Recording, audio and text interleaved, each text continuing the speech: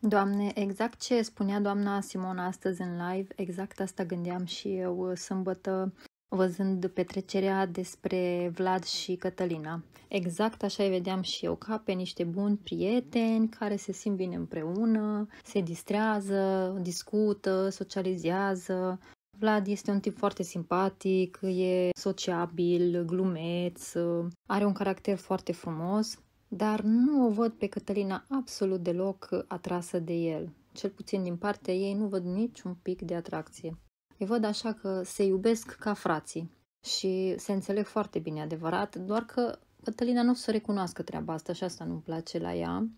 Sâmbătă la petrecere am văzut de cel puțin 3 uh, sau 4 ori, am văzut eu când Vlad a încercat să o sărute și a, a întors obrazul sau s-a atras sau a făcut diverse gesturi așa subtile, evident, pentru că nu cred că simte, nu simțea treaba asta, evident. Așa că sunt foarte ok amândoi, doar că mai e ceva. Cătălina vineri, după gala, a ieșit pe terasă și era foarte abătută. Asta de vorbă cu Denisa, tot așa am văzut-o pe Antena Play.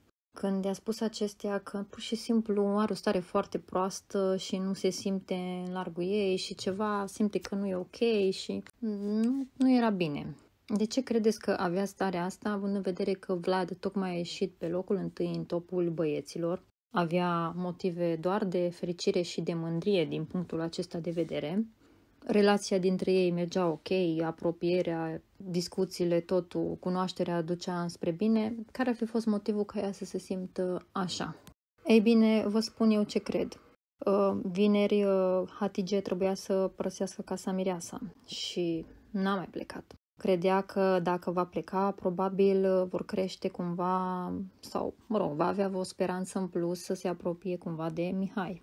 Eu tot asta cred că gândul ei încă este la Mihai. Dar din moment ce nu s-a întâmplat acest lucru, evident că nu, nu o să recunoască. Eu așa văd lucrurile. Cu exact cum a spus uh, doamna Simona, exact uh, la fel simt și eu. Probabil și pentru că avem vârste apropiate și experiență similară de viață. Am, la fel am simțit-o și eu pe, pe Cătălina, că se simte doar bine în compania lui Vlad și atât. Din păcate, cred că pe viitor uh, vom afla și vom descoperi că așa este.